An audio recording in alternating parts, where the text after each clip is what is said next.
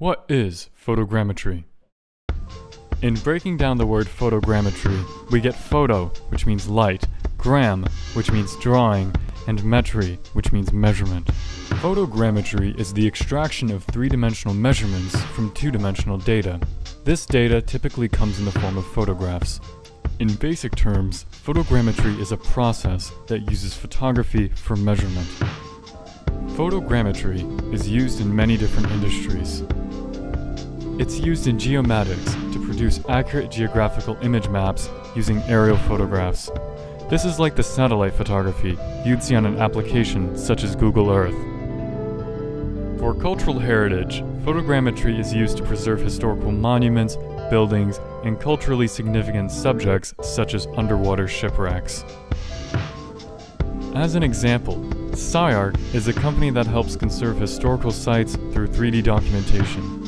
This is important because these historical places are decaying and they won't last forever. In game design and film production, photogrammetry is used to create 3D assets. During the development of the video game The Vanishing of Ethan Carter, photogrammetry was used to create an immersive and photorealistic experience. 3D statues, buildings, and natural elements such as rocks were created from images. In the following tutorial series, we're going to focus on 3D reconstruction from multiple images. This will involve taking pictures with a handheld camera from many angles. We will be utilizing photogrammetry for artistic multimedia content creation. With the increasing power and availability of cameras and computers, 3D reconstruction is becoming more accessible. With more accessibility comes more opportunity to experiment. Photogrammetry is a relatively unexplored medium. This means it's an opportunity to create something new. Traditional photography limits us to a two-dimensional viewing experience. What if we were to remove that boundary? What if a photograph became something that's unbounded by the scope of a frame? This is why I'm so passionate about photogrammetry. The way I see it, illustrative photogrammetry is a multimedia evolution. Together, in future videos, we're going to explore the vast potential that this emerging medium offers.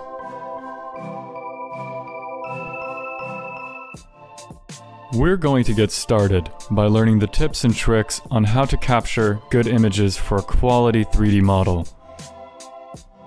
Then, we're going to take those pictures and process them using a photogrammetry software.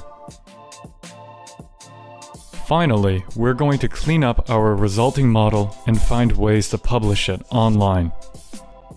These tutorials are designed to get you started with photogrammetry and serve as a basic foundation. Throughout the series, I will break down the fundamental steps on how to create a quality 3D model. Together, we'll think about what makes a good photogrammetric composition.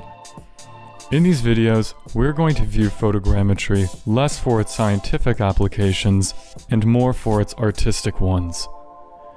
In the upcoming video series, we'll be figuring out what you need to begin working with photogrammetry Check out the video description for anything I referenced and for links to the tutorial playlist. Subscribe to my channel to stay updated on the latest creative videos and feel free to comment on my videos to tell me what you think or if you have any questions.